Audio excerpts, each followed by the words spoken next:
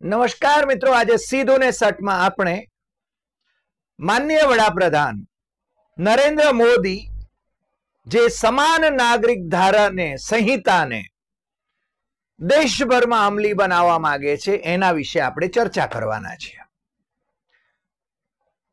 અમે બહુ સ્પષ્ટપણે માનીએ છીએ કે સમાન નાગરિક સંહિતા, યુનિફોર્મ સિવિલ કોડ એ સમગ્ર દેશમાં અમલી થવો જોઈએ. અને એ બધાએ, બધા નાગરિકોએ સ્વૈચ્છિક રીતે સ્વીકારવો જોઈએ અને એની ડિબેટ થવી જોઈએ. ઓગણીસો બાવનથી માંડીને જનસંઘના મિત્રો અને પછીથી ભારતીય જનતા પાર્ટીના મિત્રો એ સતત યુનિફોર્મ સિવિલ કોડની વાતોના વડા કરતા રહ્યા છે. એ મુસ્લિમ વિરોધ માટે એનો ઉપયોગ કરતા રહ્યા છે. પરંતુ એમની દાનત નહોતી કે હજુ સુધી એનો કોઈ ડ્રાફ્ટ તૈયાર કરે. અમે બે હજાર ને છ માં uniform civil code in Indian context એના વિશે અમારી સંસ્થા તરફથી અમે એક રાષ્ટ્રીય પરિસંવાદ એનું આયોજન અમદાવાદમાં મહાત્મા ગાંધી લેબર ઇન્સ્ટિટ્યૂટના સભાગૃહમાં કર્યું હતું જાન્યુઆરી બે હજાર છમાં. અને એ વખતે અમે આ જે સિમ્પોઝિયમનું લોકાર્પણ કર્યું, ત્યારે અમે એમાં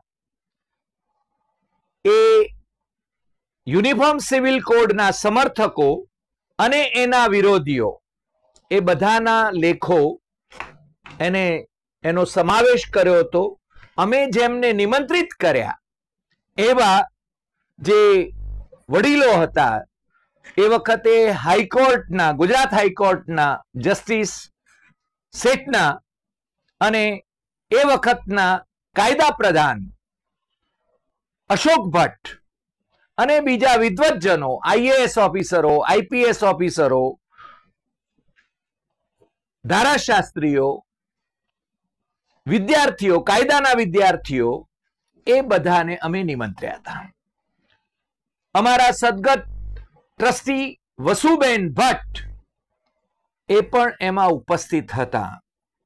અને એ વખતે અમે આની તરફેણમાં એક માહોલ ઊભો થાય એવી ચર્ચા આરંભી હતી.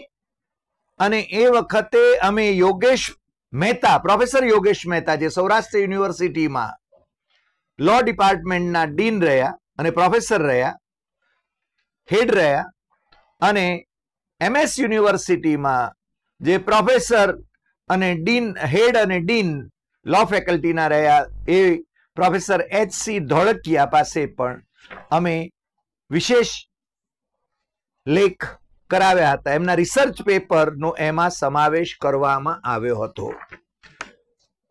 Godhra college Godhra law college અને પછીથી પાલનપુર લો કોલેજના પ્રિન્સિપાલ અશ્વિન કારિયા.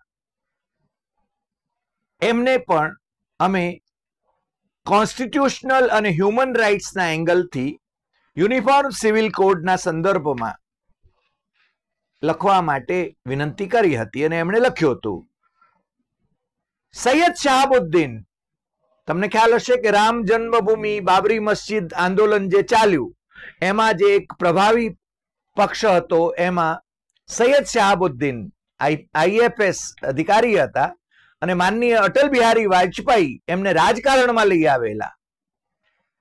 એ સૈયદ શાહબુદ્દીન, એમની પાસે પણ અમે એમનો મત જાણ્યો હતો અને ભાસ્કરતનના ગુજરાત હાઈકોર્ટના એડવોકેટ અને બીજાઓ એમની પાસે, ખાસ કરીને મારે અહીંયા ઉલ્લેખ કરવો જોઈએ કે એ વખતે મુંબઈના ઇન્કલાબ ગ્રુપ, એના જે mid day mid day English અને મિડ ડે ગુજરાતી અને ઇન્કલાબ ઉર્દુ એ વખતે એ જાગરણ ગ્રુપ પાસે નહોતું.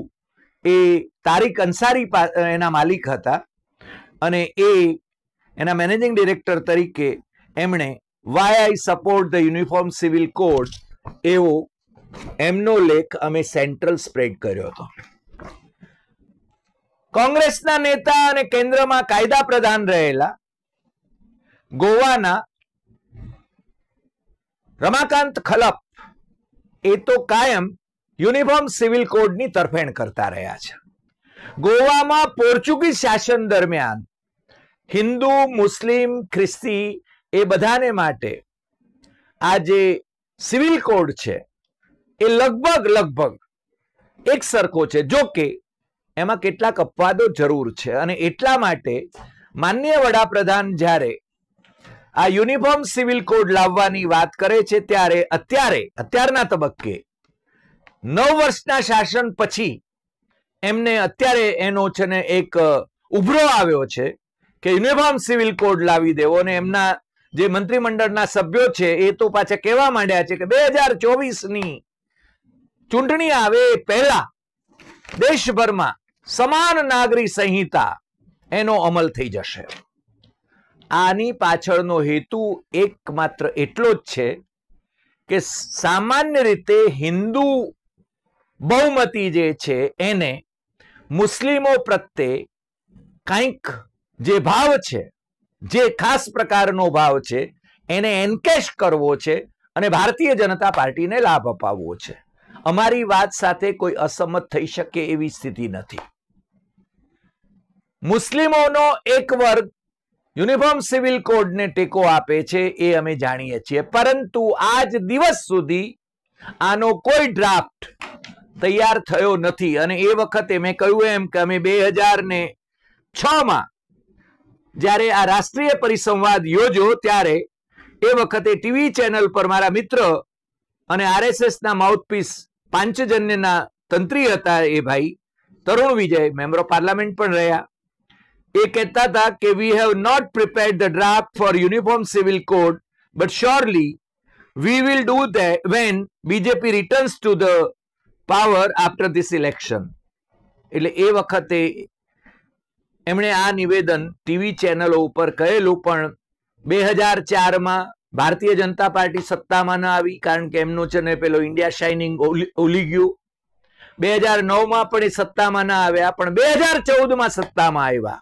સત્તામાં આવ્યા પછી તરત જ એમણે આ કામ હાથમાં લેવા જેવું હતું, પરંતુ એ વખતે અમને જે ભાઈશ્રી અરુણ જેટલી, જે ગુજરાતના એમપી હતા અને લો મિનિસ્ટર હતા વાજપેયી કેબિનેટમાં, એમણે કહેલું કે અમે છે ને આવો કોઈ ડ્રાફ્ટ તૈયાર કર્યો નથી અને આજ દિવસ સુધી, આજે બે હજાર ત્રેવીસ છે, બે હજાર ત્રેવીસની જૂનની આજે અઠ્યાવીસમી તારીખ છે ત્યારે અમે તમારી સાથે વાત કરી રહ્યા છીએ. અને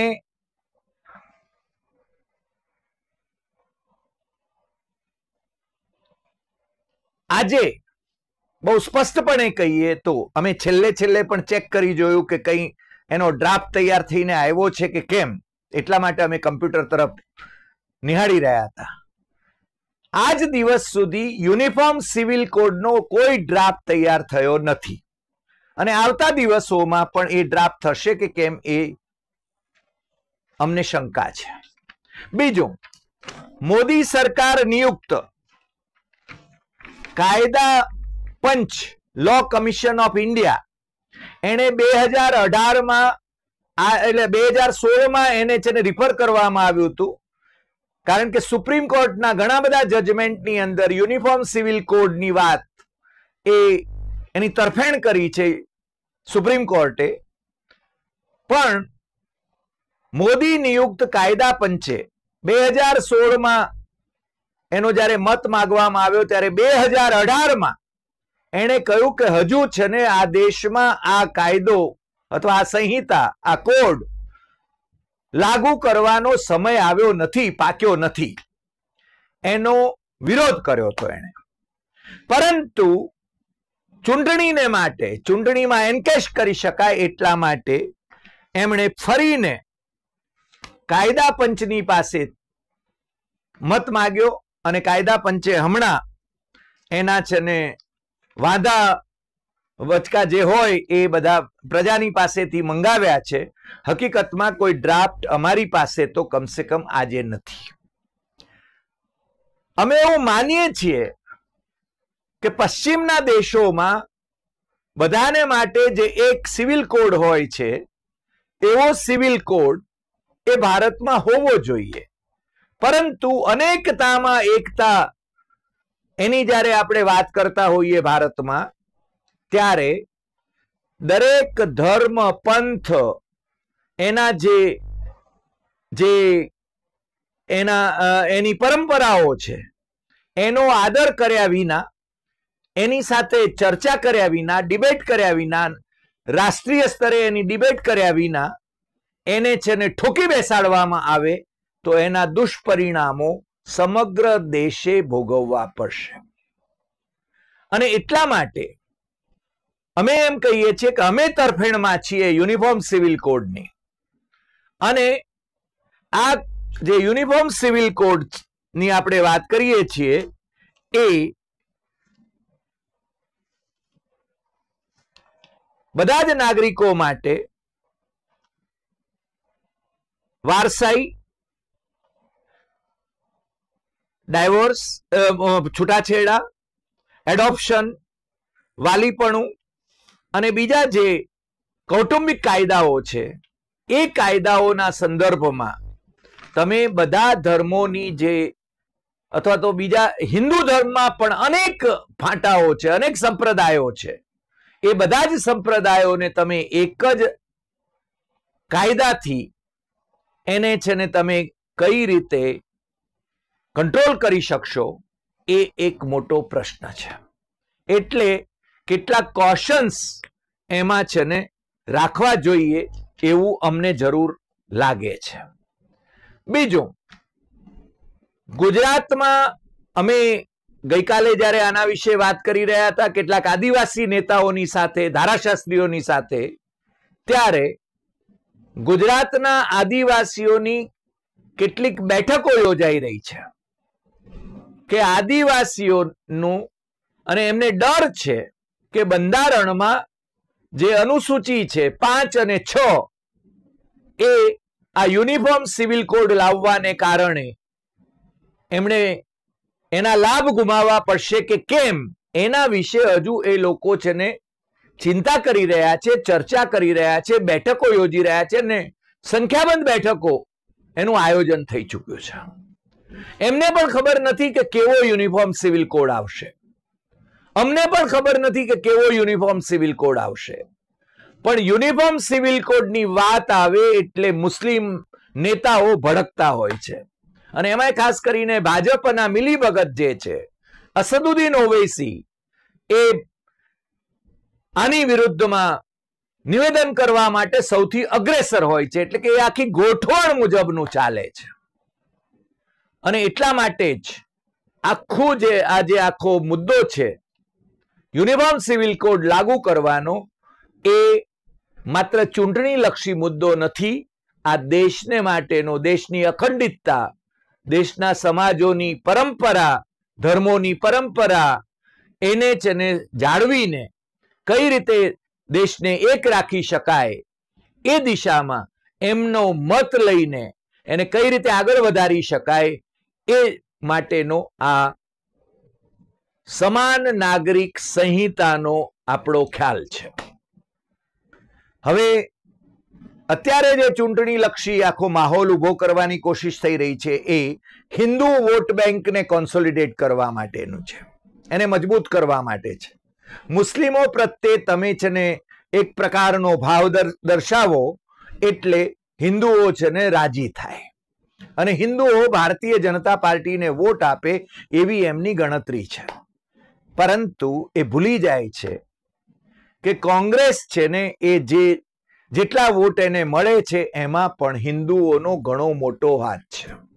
કોંગ્રેસના સમર્થકોમાં પણ હિન્દુઓ છે. સમાજવાદી પાર્ટીના સમર્થકોમાં પણ હિન્દુઓ છે. તૃણમૂલ કોંગ્રેસના સમર્થનમાં પણ હિન્દુઓ છે. એવું નથી કે ભારતીય જનતા પાર્ટીએ હિન્દુઓ ઉપર મક્તેદારી ધરાવી છે. ભારતીય જનતા પાર્ટી તો બે હજાર ચૌદમાં જ્યારે સત્તામાં આવી, ત્યારે માત્ર એકત્રીસ ટકા વોટથી આવી હતી. એકત્રીસ ટકા વોટ. અને બે હજાર ઓગણીસમાં એમને ત્રણસો ને ત્રણ બેઠકો મળી લોકસભાની અંદર, ત્યારે પણ એ સડત્રીસ પોઈન્ટ ચાર ટકા વોટથી આવી હતી. એટલે બહુમતી વોટ જે છે, એ બધા વિપક્ષો વચ્ચે વહેંચાઈ જાય છે અને એવું જરૂરી નથી કે આ દેશના તમામ હિન્દુઓ એ ભારતીય જનતા પાર્ટીનું સમર્થન કરે છે. તમામ રાજકીય પક્ષો બીજા જે છે, ધારો કે શિવસેના છે, શિવસેનાના બે ધડા છે, કે ઇવન એમઆઈએમ જે મુસ્લિમ પાર્ટી ગણાય, એમાં પણ છે ને કેટલાક હિન્દુ એ ઉમેદવાર હોય છે અને એ છે ને ચૂંટાય છે.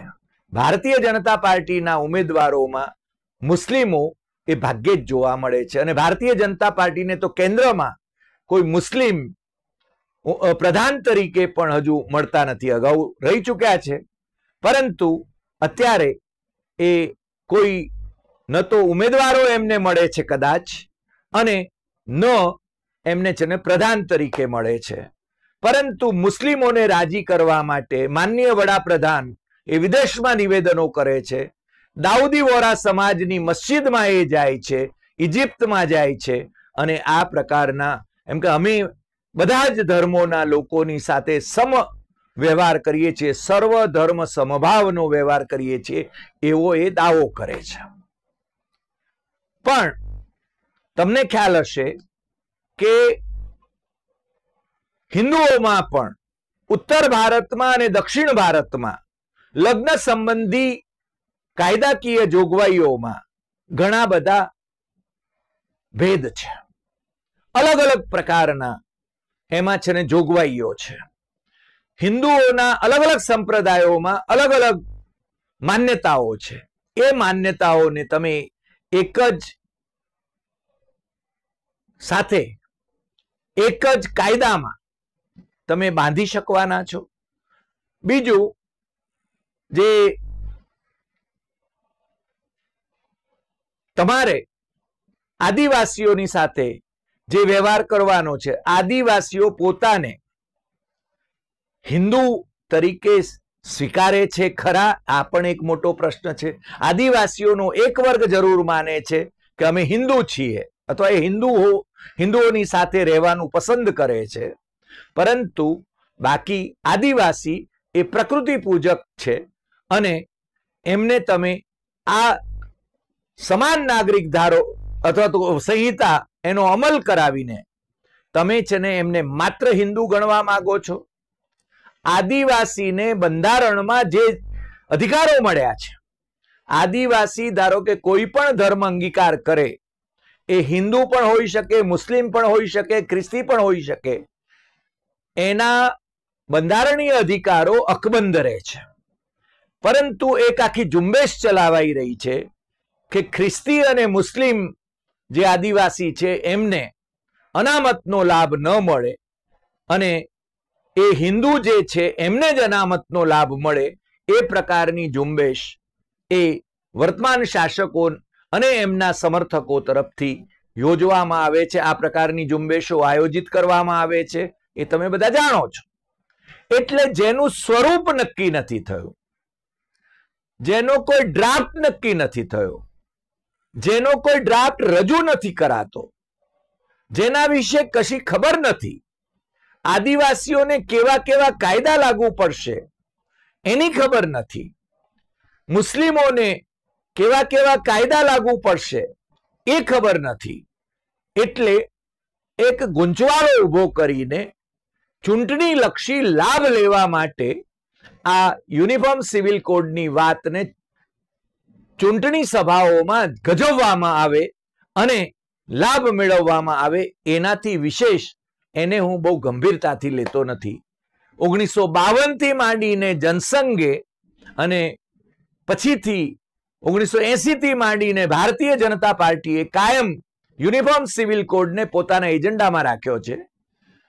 બંધારણની અંદર એને આર્ટિકલ ફોર્ટી ફોરમાં ડાયરેક્ટિવ પ્રિન્સિપલ્સમાં એને આદર્શ પરિસ્થિતિ તરીકે રાષ્ટ્રીય સ્તરે એનો અમલ કરાવવો એ બાબત નિશ્ચિતપણે ધ્યાને લેવામાં આવી છે, મૂકવામાં આવી છે, જોગવાઈ કરવામાં આવી છે. સુપ્રીમ કોર્ટે વારંવાર આ યુનિફોર્મ સિવિલ કોડની તરફેણ કરતા ચુકાદાઓની અંદર નોંધો કરી છે. છતાં આજ દિવસ સુધી અગાઉ પણ મોરારજીભાઈની પણ સરકાર આવી ગઈ.